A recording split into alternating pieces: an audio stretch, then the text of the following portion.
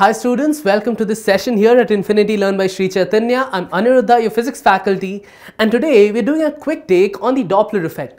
Now the Doppler effect is a topic that most students think is difficult because they feel that there are so many formulas to remember for each of the different cases.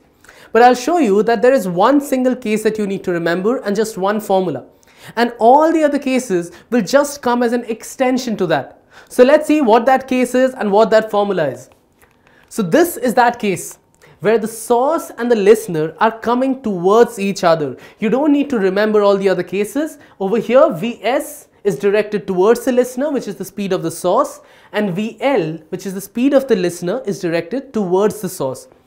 Now the general expression would be f dash is equal to V plus VL divided by V minus Vs into F you know what the terms are already? F dash is the is the f is the actual frequency which the source emits. F dash is the frequency as heard by the listener. And vs and vl like i already said speed of source and speed of listener. So this is the only formula that you need to remember. And this is the only case that you need to remember. Because i'll show you this everything else will just fall as a as a consequence of this so just remember the directions Vs towards listener, VL towards the source. Now let's move on. Here we have the other cases. Let's start with the original equation. This is the equation. Source and observer or listener moving towards each other. Now the first case is with source moving towards listener but listener is true. The listener is at rest.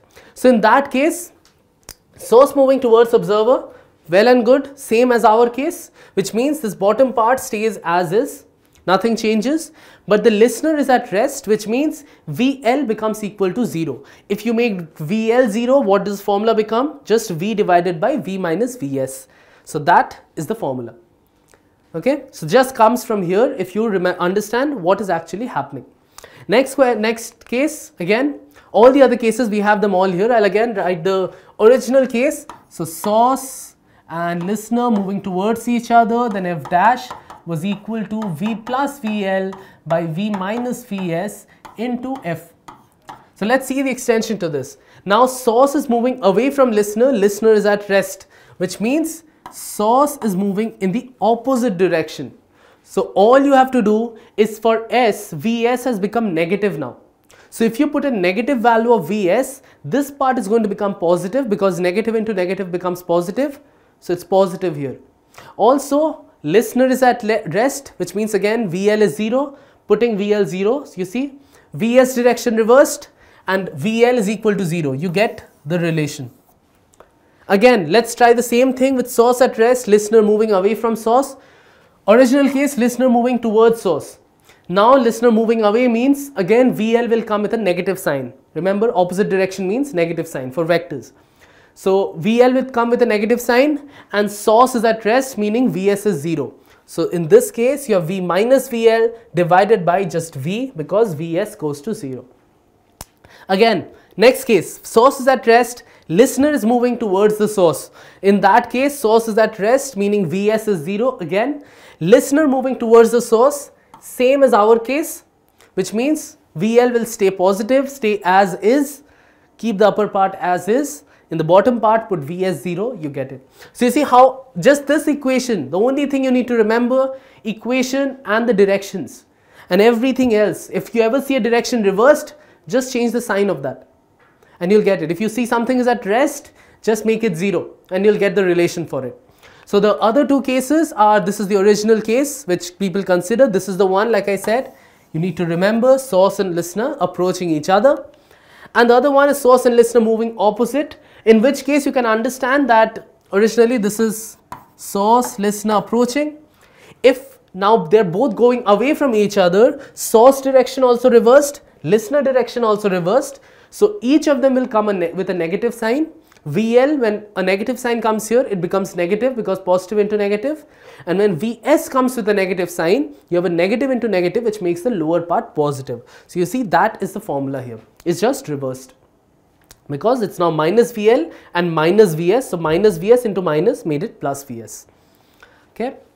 So both move in the same direction with same velocity. Then F dash is equal to F. This is to remember because Doppler effect, any change in frequency only happens when there's a relative motion between two, two different cases. If both are moving with the same velocity, there's no relative motion because the distance between them remains constant throughout as they move about. Okay, so then apparent frequency same as your original frequency. Another case is when they are both moving with the same velocity but perpendicular. Okay, perpendicular means you have the source, you have the listener moving with the same velocity, same velocity perpendicular to each other. Again, you can understand there is no relative motion between them because now this is the connecting line between them. They both move together up or down, perpendicular. But their relative distance is constant throughout. So no relative motion, no Doppler effect. But if one moves faster, if one moves faster than the other, so over here say this is the distance, if after some time S is over here, L is here, if S moved faster, then the relative distance changed, which means there is now relative velocity. Here there would be a change in frequency. Okay. So just to give you a heads up, the cases where this uh, change in frequency does not happen.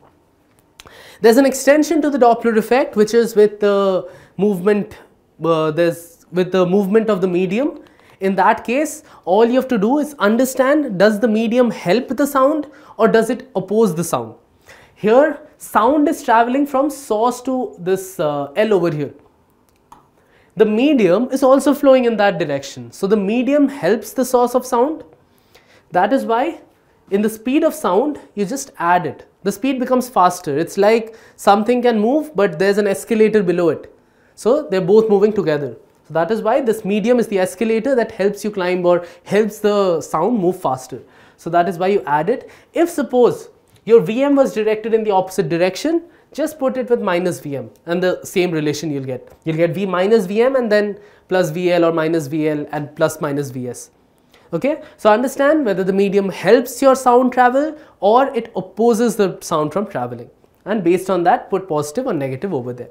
So that's it for Doppler effect that's all you need to remember and you should be able to solve all questions in your JEE mains with regards to this. Thank you so much for watching. Catch you all in the next one.